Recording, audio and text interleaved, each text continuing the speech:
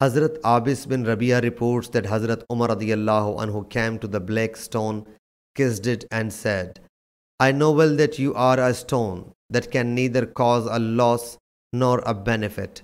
If I had not seen the Prophet ﷺ kissing you, I would not have kissed you. Sahih Bukhari, Hadith number 1597.